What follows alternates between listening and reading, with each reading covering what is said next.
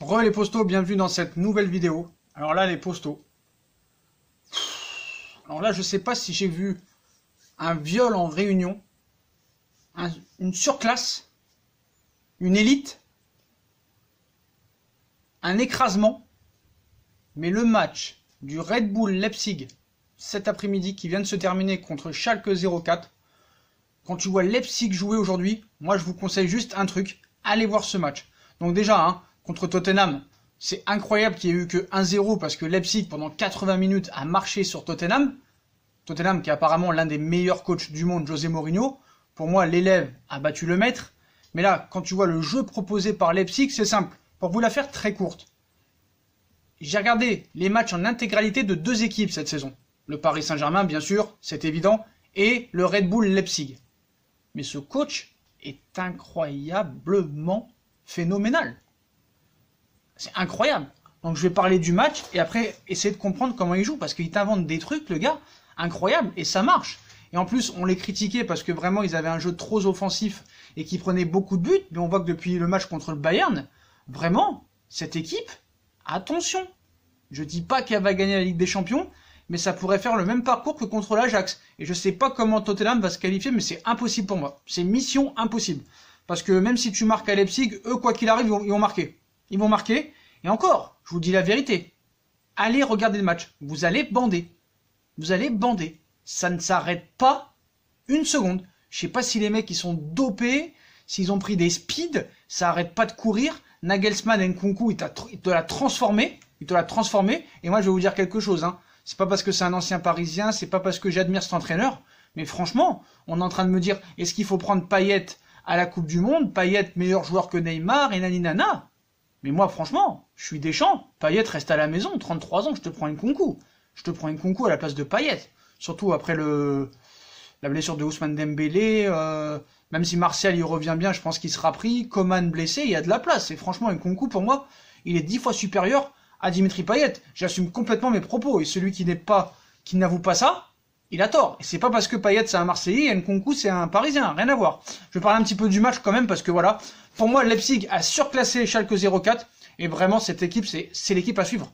C'est l'équipe à suivre. Si tu veux te régaler, si tu veux avoir du vrai football, on te parle du Barça, du Real Madrid. On s'ennuie quand on les regarde. Le Paris Saint-Germain, la Juve, c'est en Ligue 1 d'accord, Paris c'est très bien, mais sinon voilà, euh, on s'ennuie un petit peu quoi. Mais quand tu vois le jeu du Red Bull Leipzig, tu te lèves, t'as les frissons. Après, c'est toujours le problème. Hein. Comme j'ai dit, Julian Nagelsmann est un très grand coach pour moi. Pour moi, il est l'un des meilleurs actuellement au niveau du jeu. Ça, c'est indéniable. À Offenheim, déjà, c'était incroyable. C'est un entraîneur jeune. Finir deux fois troisième avec Offenheim. Et là, jouer le titre de champion d'Allemagne devant le Bayern, devant le Borussia Dortmund. Putain, le gars, s'il est champion d'Allemagne équivalent à la Ligue des Champions, euh, déjà qu'il a refusé le Real Madrid. Florentino Pérez, c'était son choix numéro 1 quand Zizou il est parti. Et voilà. Donc victorieux 3-0 du Werder de Brême le week-end dernier. Le Red Bull euh, Salzbourg bah, souhaitait enchaîner hein, face au Schalke 04 pour revenir sur les talons du Bayern de Munich au classement. Surtout qu'en plus, euh, ils avaient deux matchs de retard, donc celui-là, plus encore un qu'il faut qu'ils rejouent. Donc ils ont un match de retard, ils sont à deux points du Bayern, je crois, ou un point. Donc voilà, hein, donc c'est simple, les hommes de Julian Nagelsmann, hein, mais dès, c'est incroyable, dès l'engagement, ils arrivent à se créer une occasion. C'est quand même hallucinant. Voilà, ils ont, lancé, ils ont lancé idéalement les débats dès le match contre Tottenham. Bah là, pareil, hein, ils ont ouvert les débats directement en ouvrant le score dès la première minute de jeu par un joueur que j'apprécie vraiment et que je trouve que c'est une révélation et que personne n'en parle. C'est euh, Sabitzer, je sais pas si ça se dit comme ça, je l'ai noté là sur mon sur mon tableau. Sabitzer, je crois que c'est Sabitzer, ça se prononce. Voilà. Et euh, peu après l'heure de jeu, bah, Leipzig euh, a effectué le break grâce à Timo Werner, hein, bien alerté par Nkunku qui a été exceptionnel lors de ce match. Incroyable, 2-0. Alstenberg de la tête euh, permettait euh, aussi de prendre le large sur un corner frappé encore une fois par Nkunku. Double, double passeur décisif lors de ce match. Et euh, non, même plus parce que Nkunku, il a été partout, je crois. Il a été partout. Attends, il a été partout dans tous les bons coups. Il a trouvé Angelino qui se jouait de la défense euh, de Schalke 04 avant d'ajuster Noble d'une frappe euh, tendue euh, au 4-0. Ouais, trois, trois passes décisives pour Christopher Nkunku. Et huit minutes plus tard, Fosberg, fraîchement entré en jeu, encore bien servi par Nkunku. Ouais, ça fait 4 non, 4 passes décisives d'Nkunku si je me souviens bien. C'est Mwekele qui fait la passe ou c'est Nkunku? C'est Nkunku, c'est Nkunku. 4 passes décisives de Christopher Nkunku qui inscrivait le cinquième but 5-0 euh, à la 89e minute de jeu. Et grâce à son 14e euh, succès de la saison, le Red Bull Leipzig revient à une longueur. Voilà, je crois que c'était pas à deux points, c'est à une longueur du Bayern de Munich. Et de son côté, bah, Christopher Nkunku en, en a profité pour distiller quatre passes décisives sur ce match. Et Christopher Nkunku, cette saison, c'est incroyablement impressionnant. Et moi, bah, je suis désolé, mais la Bundesliga, euh, c'est clairement déjà le championnat pour moi le plus spectaculaire cette saison. Bon après, euh, faut pas s'enflammer. Il y en a qui disent que Nkunku est dix fois meilleur que Verratti. Ça, c'est à vérifier toujours. Hein, dès que des mecs font des grands matchs, tout ça. Mais bon, ne comparez pas quand même Nkunku à Verratti. Il va falloir que Nkunku confirme quand même. On va voir en Ligue des Champions, mais quel match Et on va vous expliquer un petit peu comment euh, a joué euh, Nagelsmann parce que c'est quand même incroyable. On va baisser un petit peu la caméra. Voilà. Euh, on va voir. attention. Voilà. On va voir un petit peu. C'est quand même étonnant. Le système de jeu déjà. Bah lui, il a l'habitude de jouer un peu en 3-4-1-2, on va dire. Mais c'est ce qui s'est passé aujourd'hui. C'est ce qui s'est passé aujourd'hui. Donc là, il a joué en fait en 3-1-4-2.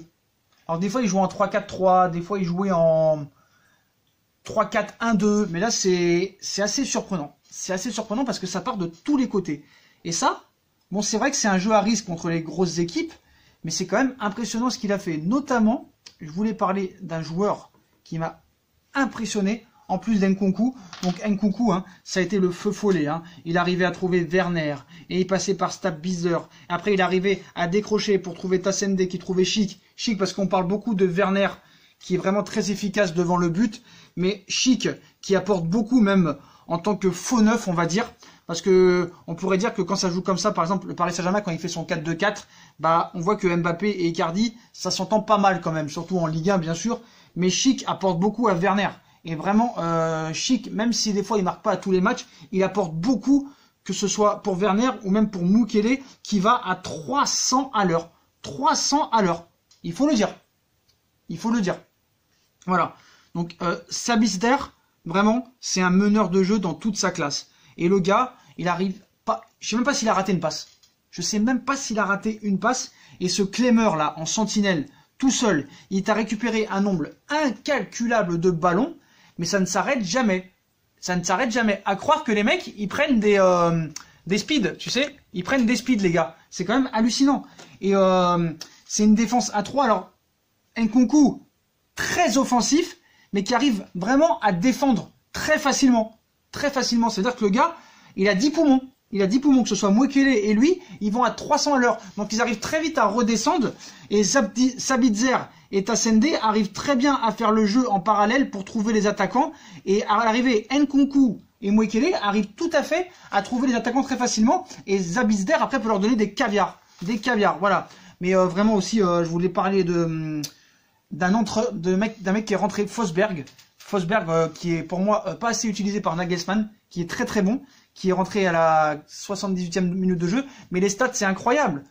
Franchement, non seulement offensivement, ils ont été impressionnants, mais chaque offensivement, n'a rien fait. Ils ont fait trois tirs. Ils ont fait trois tirs. Alors ils avaient la possession de balle, Schalke, mais 24 tirs du côté de Leipzig. Et ce jeu en transition, quand tu vois Astenberg et Klostermann, c'est des frères jumeaux avec Mwekele et Nkunku. C'est des, clones. C'est des clones. Ils font les fusions. Une évolution comme dans Pokémon. C'est incroyable. Carapuce pour Carabaf, Salamèche pour Dracofeu. C'est quand même impressionnant. C'était des tortangs devant. Mais voilà, hallucinant. Et euh, la composition d'équipe, ce... c'est hallucinant, ce 3, ouais, c'est du, du 3-1-4-2. C'est du 3-1-4-2, exactement, voilà. Du 3-1-4-2. Et euh, vraiment, moi, franchement, euh, ce coach-là, je vais vous le dire, parce que moi, on me parle de dire non, euh, dans un grand club, ça marcherait pas, c'est encore un pari, c'est un mec qui sait pas gérer des stars. Donc déjà, on ne le sait pas parce que pour l'instant, il n'a pas entraîné de gros clubs, certes, c'est vrai, mais c'est quand même impressionnant l'histoire de ce mec qui a refusé le Real Madrid en 2018. Florentino Pérez en faisait son atout numéro 1 pour remplacer Zinedine Zidane. Il a refusé. Après, c'est sûr que peut-être des fois on s'emballe trop, mais voilà. Là, on est en train de me dire euh, que euh, si tu prenais Nagelsmann au PSG, ce serait encore un Paris, ce serait un Emery 2, un Tourelle 2, mais rien à voir. Rien à voir. Rien à voir. Je vous le dis. Je vous le dis. Tourelle à Dortmund, ça ne jouait pas comme ça.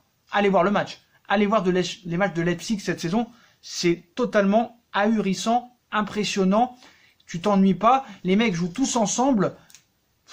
Alors on est en train de m'expliquer que ouais, le mec c'est pas gérer des stars, machin, nani, nana. Donc c'est-à-dire que quand on vous écoute, le Paris Saint-Germain, eux, doit acheter que des stars. On peut pas transformer une équipe comme ça. Ça veut dire que ce serait un échec côté Qatari, ils changeraient de politique. Pourquoi ne pas changer de politique? Pourquoi montrer absolument du bling bling donc c'est sûr que ce coach, hein, il partira jamais au PSG parce que Leonardo ne voudra jamais, c'est pas son style de coach. Il va pas dégager un Allemand pour prendre, un Allemand. Mais retenez bien ce nom, Julian Nagelsmann, c'est totalement ahurissant. J'ai vu des youtubeurs faire des vidéos sur lui, et franchement c'est totalement euh, remarquable ce qu'il fait. Le travail qu'il est en train de faire, à transformer des joueurs comme ça. Euh, franchement, moi je suis admiratif. Et euh, vraiment, c'est une équipe que je suis curieux de voir en Ligue des Champions encore par le futur si jamais ils vont en quart de finale. Et je suis très curieux de les voir, euh, par exemple, contre un Real Madrid ou un FC Barcelone, pour voir ce que ça pourrait donner. C'est, Moi, moi, ça m'intéresse. Vraiment. Et s'il est champion d'Allemagne, bah déjà, il aura un palmarès. Hein. Il aura un palmarès. Et moi, franchement, euh, ces coachs-là, franchement, bah, ils me font kiffer. Ils me font kiffer. Le mec a peur de rien. Il a peur de rien. Et ça, il faut, faut, le préciser. Et euh, cette défense à 3, on a vu que même Klosterman et Asberg, en fait, ils font le travail pour Nkunku et Mwekele parce que vu qu'ils arrivent à défendre automatiquement, sans qu'on leur demande, bah à l'arrivée, c'est un peu une équipe de PlayStation en fait. C'est ça que. Comment dire C'est ça qui est assez facile en fait pour Klesterman parce qu'il a réussi à construire une machine qui est complètement. Euh, qui s'entend à merveille quoi. Qui s'entend à merveille. Et le problème pour les équipes adverses, c'est qu'ils n'arrivent pas à, à savoir un petit peu la, le système de jeu parce qu'ils sont complètement à la merci de ça. C'est-à-dire qu'il y a toujours des surprises. Tu sais pas à quoi t'attendre avec euh, la tactique de jeu, la tactique de jeu de euh, de Julian Nagelsmann. Mais voilà. Et euh, un petit message pour Didier Deschamps dans l'axe. Umpecano, dix fois meilleur que Samuel Umtiti. Hein. Voilà, moi je le dis. Moi je le dis et je n'ai pas peur de le dire. Donc au lieu d'aller nous prendre toujours des Umtiti, des machins, moi franchement, Umpecano il a sa place. Nkunku aussi il a sa place à l'euro. Et euh, franchement, euh, félicitations à Julian Nagelsmann parce que c'est totalement euh, impressionnant ce qu'il est en train de faire avec cette équipe. Voilà, c'est remarquable. Vraiment, c'est remarquable. Et pour vous dire à quel point j'ai été impressionné, là, il y a le Real Madrid qui, joue. Je vais regarder sur ma tablette, mais je vais regarder sur mon ordi. je vais re-regarder le match de, du Red Bull parce que Leipzig après, après le match du Real, parce que le, match du Real, je vais le regarder quand même. Mais suis impressionnant et ce coach vraiment pour moi est le futur grand coach de ce football actuel et du futur. Voilà. Pour moi, ça va, être, devenir l'un des meilleurs coachs du monde. Je suis prêt à mettre ma main à couper et ma tête à couper. Voilà. Même des mecs comme Frank Lampard, le jeu qu'il arrive à procurer à Chelsea, avec zéro recrue. Moi, je peux te dire que l'élève a battu le maître. Il a battu deux fois Mourinho cette saison. Des Lampard, des mecs comme euh, Nagelsmann, c'est vraiment des mecs qui vont devenir de très grands coachs. Moi, je le dis. Et franchement, euh, bravo Red Bull Leipzig et euh, vivement le match retour contre Tottenham. Mais voilà. Et quand on me dit Paris, il faut toujours apprendre des, entraîneurs avec des grosses stars. Bon, c'est vrai que là, on peut pas franchement dire que Paris, bah, faut pas prendre ces coachs-là parce que c'est vrai que ce sera encore un pari en soi, même s'il gagne le championnat d'Allemagne. C'est vrai que Paris, maintenant, il va falloir prendre un coach qui a un certain palmarès. Mais pourquoi pas retourner à des fondamentaux? Arrêtons d'acheter des stars 120, 125 millions d'euros. On voit qu'un entraîneur peut créer une équipe comme ça. Voilà, il y a de la pression en Allemagne quand tu vois les supporters du Red Bull Leipzig. Euh, c'est des fanatiques aussi. Hein. Je peux vous dire que c'est des fanatiques et dans le public, euh, c'est chaud. Hein. L'ambiance est chaude. Donc voilà. Et puis cette tactique là, ce, système de jeu que je ne connaissais pas du tout, qu'il a mis en place, ce 3-1-4-2, marche euh, superbement bien. Et, et moi j'ai trouvé un Nkunku vraiment très très très impressionnant. Très impressionnant voilà, si vous n'avez pas vu le match, hein, je vous le conseille vraiment parce que. Et le match d'Enkunku, franchement, euh, quatre fois passeur décisif, c'est quand même impressionnant. Et voilà, même dans l'agressivité, euh, tous ces joueurs-là, ils, ne lâchent rien. C'est là que tu vois que les mecs, ils aiment le football, ils aiment le maillot, ils pensent pas qu'à l'argent. Même à 5-0, ça voulait continuer à jouer, à jouer. Et on aurait dit qu'ils étaient déçus quand l'arbitre a arrêté le match. C'est incroyable. C'est incroyable. Ils en voulaient encore, les mecs. Voilà, donc voilà les postos. Donc euh, je vous conseille d'aller voir ce match vraiment. Au moins voir un résumé si vous pouvez. Et puis voilà, les postos, bah, dites-moi en commentaire ce que vous en avez pensé et qu'est-ce que vous en pensez de ce coach, de la transformation d'Enkunku, du Mpekano dans l'axe. Est-ce que vous pensez que ces deux joueurs-là pourraient être à l'euro dans la liste de Didier Deschamps? On like, on partage, on s'abonne, on active la petite cloche pour la notification. On nous rejoint sur nos différents réseaux sociaux, Instagram, Facebook, Snapchat, Twitter, ainsi que sur Utip. Voilà les postos, tchuss